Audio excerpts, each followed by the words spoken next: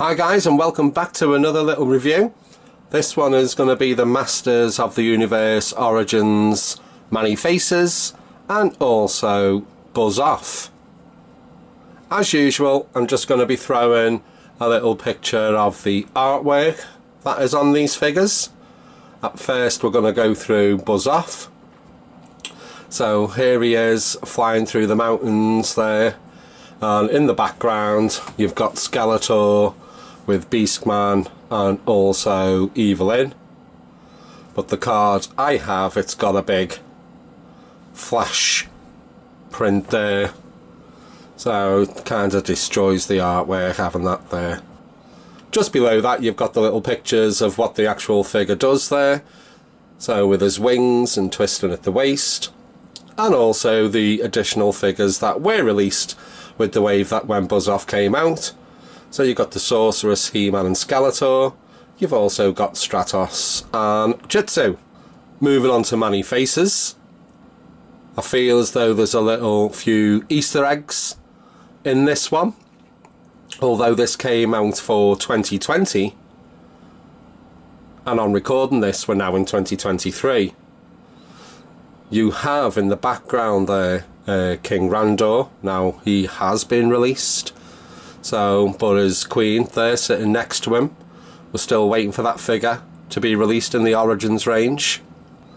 Below that you've got the little photographs there of the Man-E-Faces where you can turn his head to reveal whether he's human, whether he's a robot or whether he's a monster. And you've also got the figures that were released within this wave as well. So again, you've got He-Man and Skeletor, you've got Orko, Trapjaw, and also Scareglow. So if we start off with Man-E-Faces, so he comes with this little orange gun accessory. So again though with his head it does twist all the way around but this one doesn't pop off like the other Origins figures do but he's got a little purple disc at the top here where you can got his, he his human face. And let's just twist round. There you've got his monster face. Twist round again to his robot face. He's quite bright in the colour, like a real vibrant orange, but ball jointed at the shoulders, elbows and a 360 turn on the wrist. He pops off in the middle, like all Origins figures do. His arms do pop off as well. And then you've got more of like a repaint I think uh, Trapjaw also uses these legs as well. So, but ball joint at the thigh, ball joint at the knee,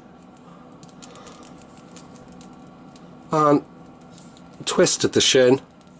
But although the feet are a ball joint, so they don't, because of the actual moulding of the thigh, or shin, should I say. it's very restricted on that one. Moving on to Buzz Off, he does have a little axe accessory there. Fits in little claw, which again does a 360 turn. Ball jointed on the shoulders, and again the arms do pop off like all other origins so you can mix and match as you go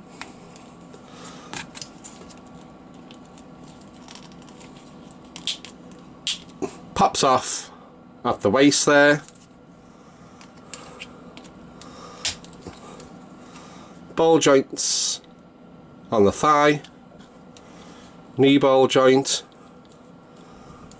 Shins twist 360 ball joint on the feet.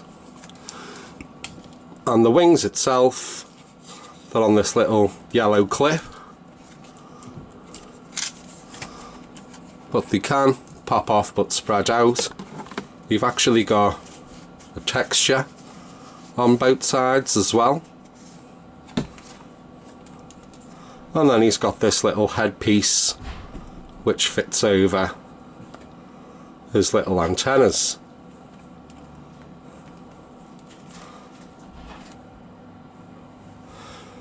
So we're going back in for our little 360 turn on these figures for you here now so you've got a better look as they go round so perfect timing to drop us a like or comment as well guys have you actually got Man-E-Faces? If so, did you buy it when it was first released?